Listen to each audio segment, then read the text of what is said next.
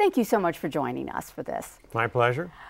You have asked recently President, former President Trump, to re endorse you. Two questions. Number one, can you win without that endorsement? And if the answer to that is yes, then why would you go back to him? The answer is yes, because you want a bigger margin. So that's that's simple. You simple think as that, that you would, but you think you can win without him. Well, we have been winning. Um, as, as you may recall, we've gained about 20, 25 points in the polls over the two months preceding May 24th. We continue to be on the upswing. Of course, it's all going to depend on what the voters want to do on June 21st. Uh, let's be real clear. This is now a battle of turnout. Mm -hmm. If our voters uh, turn out 100%, then we win in a landslide. If her voters turn out 100%, then she wins in a landslide. So it's all about who gets to the polls on June 21st. You have not yet testified before the January 6th committee. Can you tell us what your position is on that now? Sure. Well, first, I haven't been subpoenaed.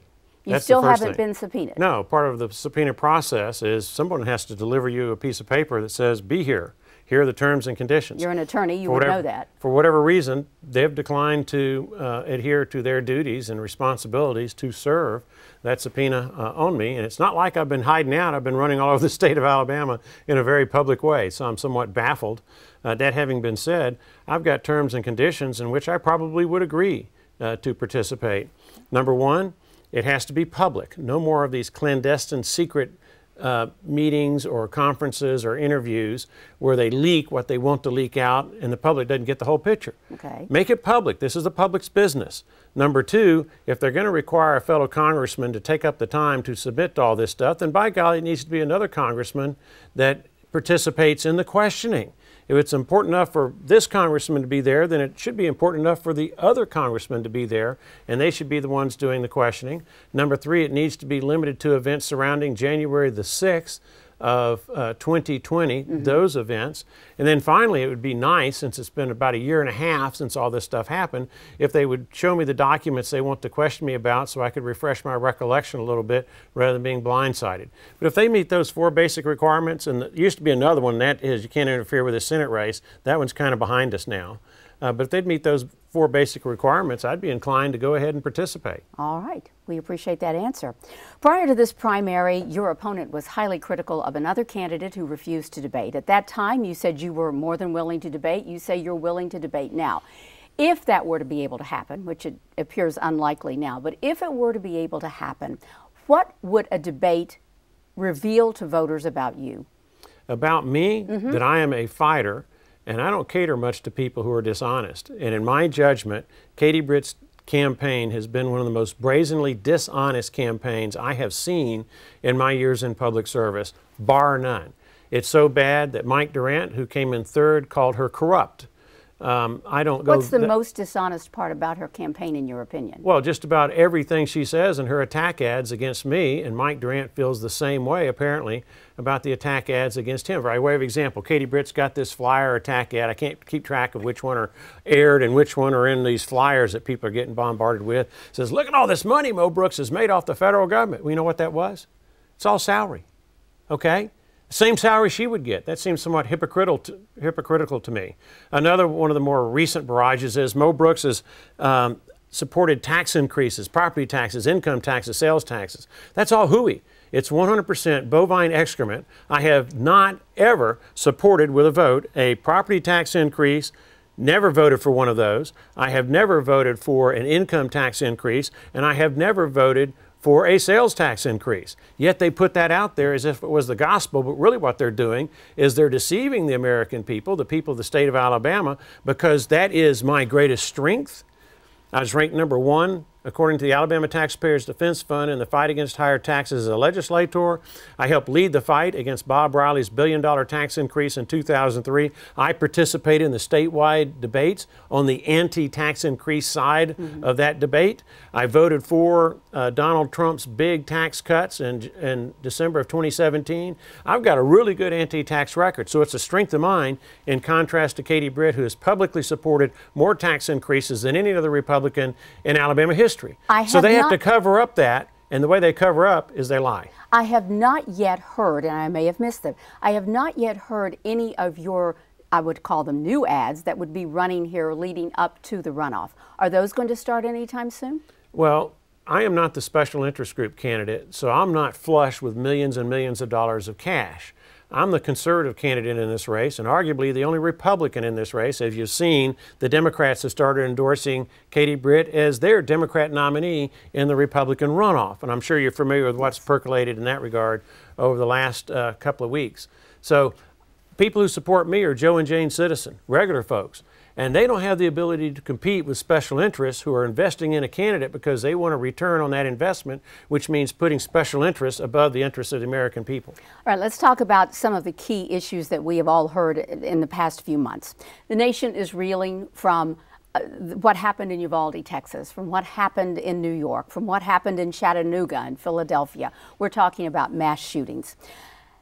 Congress, a group at least of bipartisan uh, members of the Senate right now, are trying to come to some kind of a term that they could agree on for gun reform. If you were in the Senate right now, would you be willing to be a member of that bipartisan group? Look, the cause of this is the decline in moral values.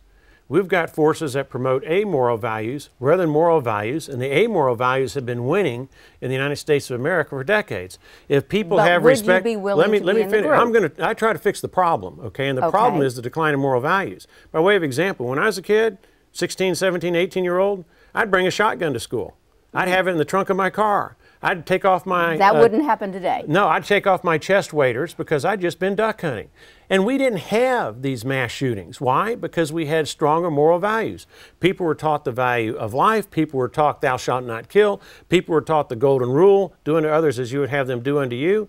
If you want to fix these problems, then go to moral values. And I should add, too, that do you know what the number one weapon was used in the biggest mass killing in a school in the United States history? It wasn't a gun, it was a bomb. Bomb. Okay, in Bath, Michigan.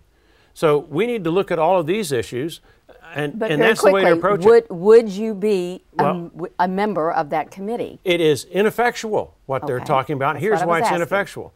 Say in the state of Alabama, if someone is a danger to himself or to others and is not thinking straight upstairs, Mm-hmm. you don't have to take their guns. You can take them.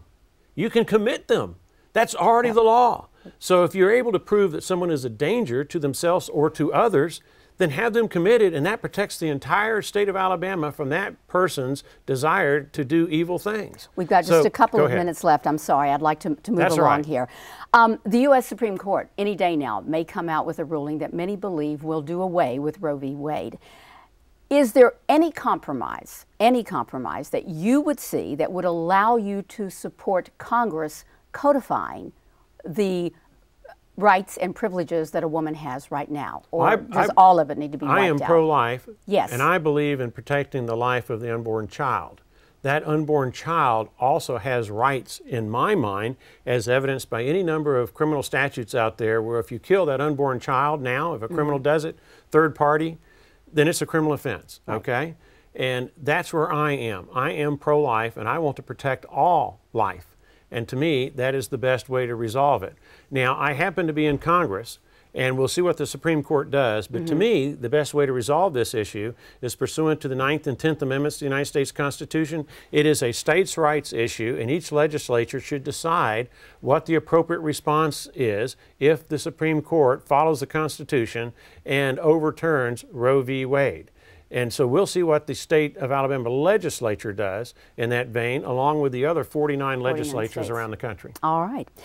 Congress restored earmarks to the federal budget, and those earmarks, of course, would allow taxpayer dollars to be designated to specific projects in that lawmaker's district. The man you hope to replace, Richard Shelby, earmarked $551 million to Alabama, more than any other senator. What's your reaction? What's your belief about earmarking? Well, I oppose earmarking, and this is why. It is used to purchase corrupt public policy. It is used to buy congressmen and senators' votes in exchange for casting bad votes on other issues. That's part of it. The other side of the coin is we have racked up a $30 trillion debt as a result of this earmarking process and buying those bad votes. Your share is about $90,000. Can you pay up? I can't. We could use it. Just We write could- us a check. okay. Well, every man, woman, and child in America right now owes $90,000 because of irresponsible spending that is encouraged by the the buying of votes through this earmark process. We need a better system that allows people and encourages people to vote based on the merits rather than how much money they can bring or how many buildings they can have named after them. In their state. We have about a minute left. You're considered the underdog in this race. If you lose, you're going to be out of Washington. You won't have a job. You've been called a career politician. So, what would you do if politics isn't in your future? I'm going to be the best grandfather I can be to 13 wonderful grandchildren. say you got a bunch and of I'm going to be the best husband I can be to a wife who's been very tolerant of me with this public service. And I'm going to be the best father I can be to four wonderful adult kids and four wonderful adult kids-in-law. So you'll be fine either Oh, way. I'll be taking them whitewater uh, canoeing and rafting in the Smokies and maybe on the Locust Fork of the Black Warrior or Mulberry Fork of the Black Warrior. I'll be taking them out to the lake and I'll be baiting those hooks with time. crickets and worms and we'll see what we can catch. Final question then. Hindsight's always 2020. Did you do the right thing in running for the U.S. Senate when you were pretty much assured that you would go back to Congress? Well, I believe in term limits. So as a legislator, I voluntarily term limited myself. I was not beat. As a county commissioner, I voluntarily term limited myself. I was not beat. As a congressman, I've served 12 years. I think that is about the appropriate time that a congressman should serve in the House of Representatives. And How long it- would you serve in the Senate if Oh. you were elected? well, I don't know. That would be up to the people of the United States of America generally and the people of the state of Alabama specifically.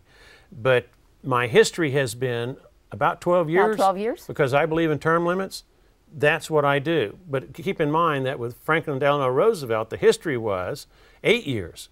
But because we were about to embark into World War II, he thought it best to disregard the history as established by George Washington And and serve on. throughout uh, World War II because of the critical nature of that particular junction in American history. So I can tell you what my past has been, which ought to give you an indicator of what I'm going to do in the future, right. but I don't want to close any doors.